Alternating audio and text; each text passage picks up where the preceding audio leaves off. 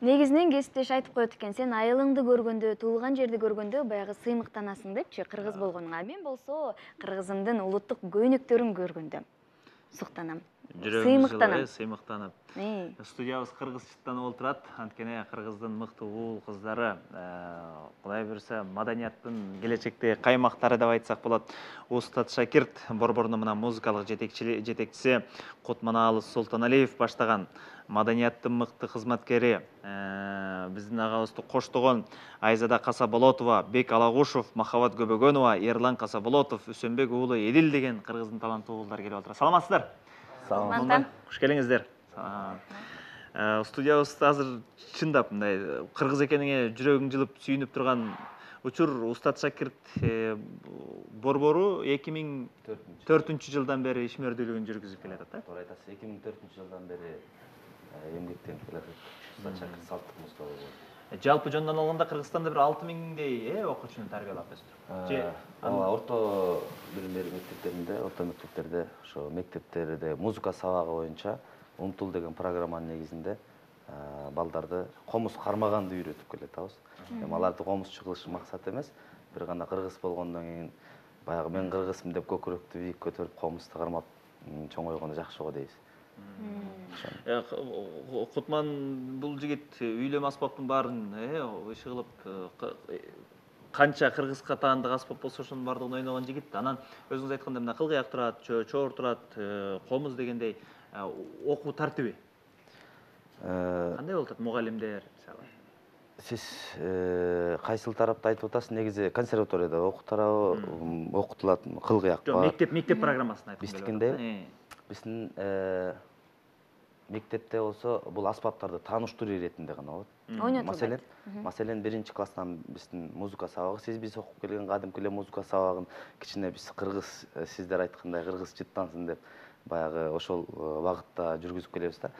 Маселен ушул комуз кандай жагаштын түрүнөн жасалат кылгыяктын кылы эмнеден тагылат өрүкпү же жаңгакпы чопо чоор эмнеден жасалат деп балдар биринчи класстан билип алса ошол өмүр бою унутулбайт го деген изги тилегибиз бар да. Эң сонун эң сонун. Келиңиз эми баягы сөз баштан болсун деп уруксат болсо жигит кыздарга кезек берели. Кайсыл чыгарманы элге таң атты арнайбыз таң эрте азыр эми мустанг деген чыгарманы аткарып берели. Эң сонун. Карачы атка жакын калып эмеспиз американын жапаяктары ак буласың кошулган эх кайран жигиттер карачы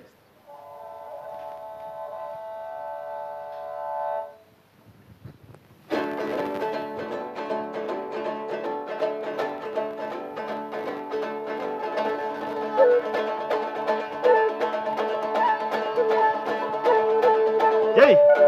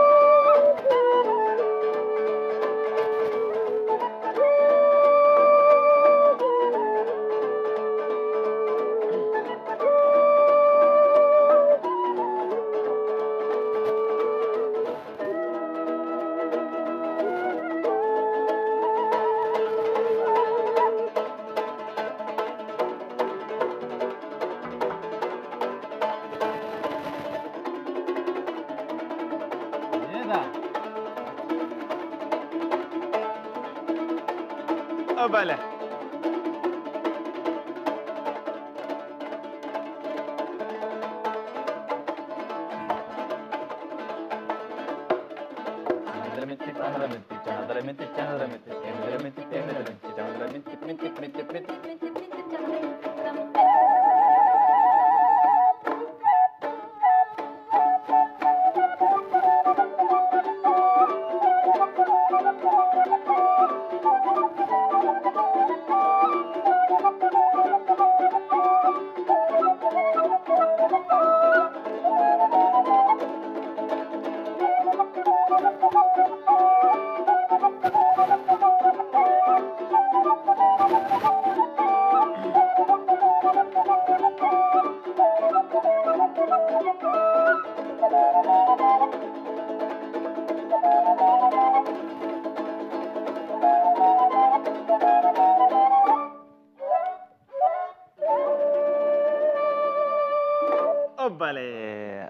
Азаматсыздар Э, кутманбай мына эки миң он алтынчы жылдын жыйынтыгы менен негизи окуу жы- жылдын ар бир өзүңүздөрдүн план бар да жылдык план?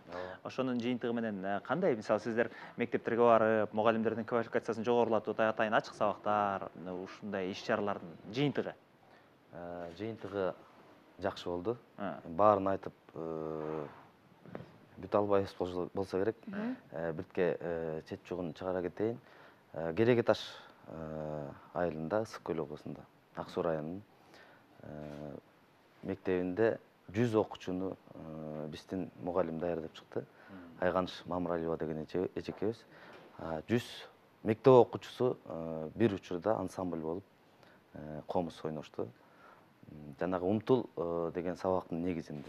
Бирок э, негизи балдар жетинчи классты бүткөндө бир күй үйрөтүш керек болчу. Ал эжекебиз аябай э, кыйын иштегендиктенби э, жүз окуучуну үйрөтүп чыкты да. Анан андан тышкары темир ооз комуз э, сабагын күчөтүп атабыз биздин алдыга койгон максаттарыбыз бар.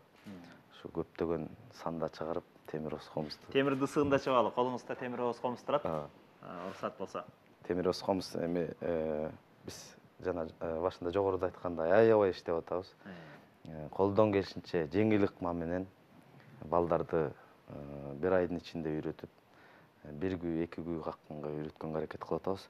Биздин ансамбль жааматы менен биргеликте. Эң сонун. Кана.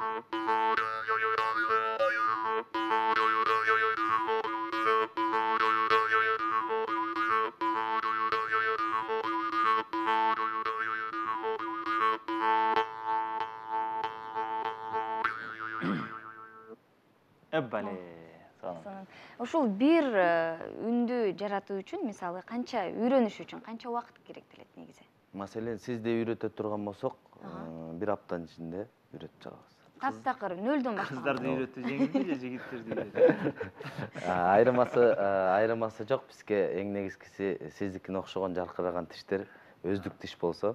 Берет темир тиште айырма болуп калабы э эми жана жасалма тиштер менен кичине кыйыныраак болуп калат жакшы эми бул жигиттерди билебиз кандай иш чара болбосун мына мактанып айтып койсо э кечээ көчмөндөр оюнда да ошол Ооба. комузчунун арасында устат шакирттин бүт жигит кыздары биз жабылышында абдан чоң салымыбызды коштук десем жаңылышпайм анткени ошол жерде кыргыз жыттанган биз эле болдук десем дагы жаңылышпасам керек да жигиттерге бек устат шакирт сизге эмне берди негизи биринчиден устат шакиртке келип калганыма мен сүйүнөм устат шакирт менин көзүмдү ачты деп ойлойм анткени чала молда дин бузат болуп мен деле ушу комуздун күүлөрүн э, башын чертип аягын чертип эле жүрчүмүн. Ушу устат шакиртке келген күндөн баштап ушу көзүм ачылып күүлөрдүн, устаттан үлгү алып ушу көзүм ушу устат шакирттен ачылды деп ойлойм. Көзүм ачылып Мен жалаканын карап атат баса белгилеп айтып коюш керек чыңгыз мырза. Баягы устатты атамайынча шакирт өспөйт дегендей биздин устат шакирт э, салттык музыка борборунда көптөгөн устаттар иштеп кетти. Атактуу. Э, атактуу мынакей ушул бек алагушевдун м, устаты кадимки биздин залкарыбыз учурдун замандын залкары десек болот намазбек уралиев самара эжекебиз иштеди Э, төлөн касаболотов деген м, залкар комузчубуз зайнидин иманалиев дагы э, фахридин баяков саадабай шабданов деген аксакалдар нурланбек нышанов бакыт чытырбаев теги коюңузчу кыргыздын мен деген кыйын кыйын чыгаан музыкант биздин аталарыбыз иштеп анан шакирттер да калтырып анан шакирттер ушинтип сиздердин алдыңыздарда турабыз эң сонун э, мектеп программасында мындай багыт берүү максатында мектеп атайын мындай бекитилип мисалы бул сабак э, комуздан болуш керек. Бул чопочордон бул деген мисалы да эмнеден э, темир оз комуздан деген бир атайын программа бекитилгенби же э, окуучунун өзүнүн каалоосу менен тандап алуу мүмкүнчүлүгү барбы бул мындай да э, чыңгыз мырза мамлекет тарабынан атайын программа бекитилип чыгат М, биз болсо э, азыр ага кире элекпиз биз э, мектеп жетекчилиги менен гана сүйлөшөбүз. Бизде ушундай программа бар. Э, жалаң э, салттуу музыка. Анан кийин мектеп жетекчилиги кызыктар болгон болсо кошумча сабак катарында гана киргизет. Мисалга алып кетсек азыр номер алтымыш сегизинчи гимназия мектебинде жети жүзгө жакын бала комуз кармап чертти десем жаңылышпайм да демек биз менен иштешкен кырк мектептин баары тең комузду балдар кармап комуз эмне экенин таанып билип атышат эң сонун келиңиз эми убакыт чукулда бүтүп кала электе дагы бир күүнү укпасак бир Калышыбыз керек биз. ыр калалы кантели Э, кадимки эле эжебиздин досмамбет эжебиздин кыйылып турам деген ырын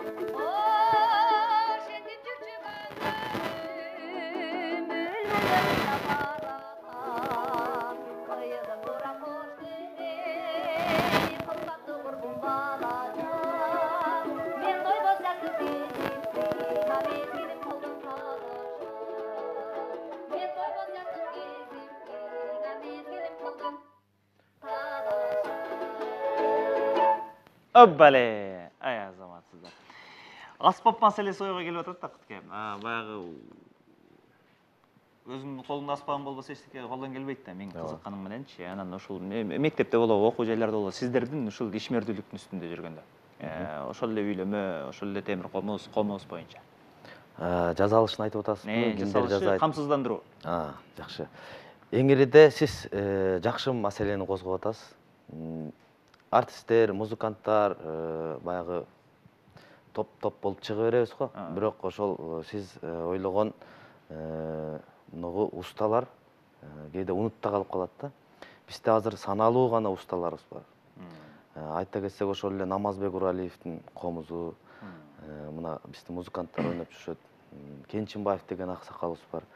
Анан болот батырканов деген темир оз комуз жасаган дагы э, жана сувенир катарында жасап жүрүшөт бирок алар баягы нота чыкпайт да.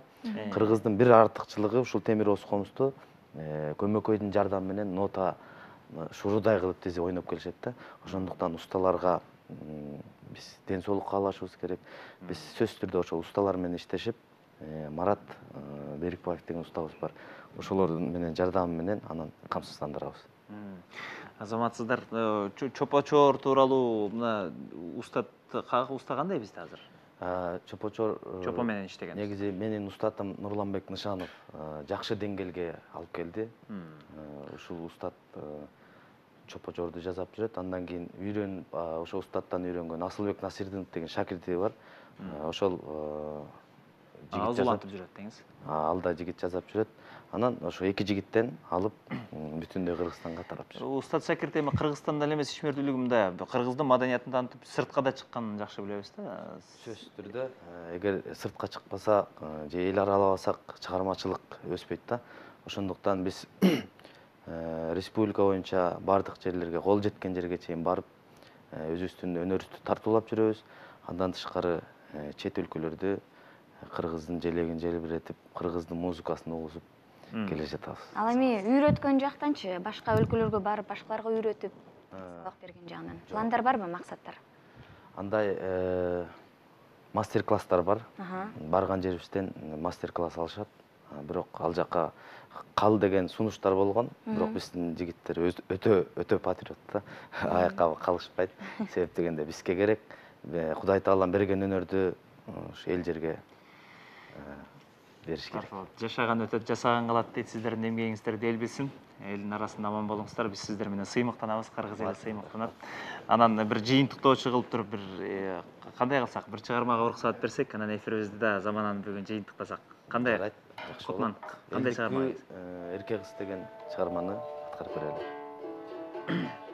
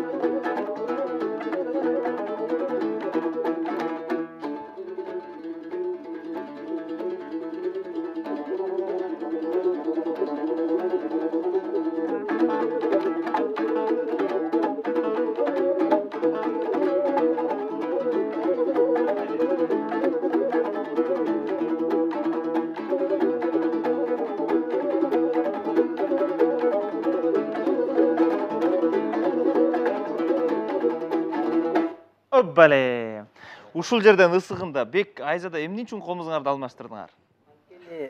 Бул бул күүлөр негизи көп стройда. Э. көп толгоодон анан экөөбүздүн комузубузду алмашып алсак ошол күүгө ыңгайлашып болот да. Биз азыр отурмакпыз.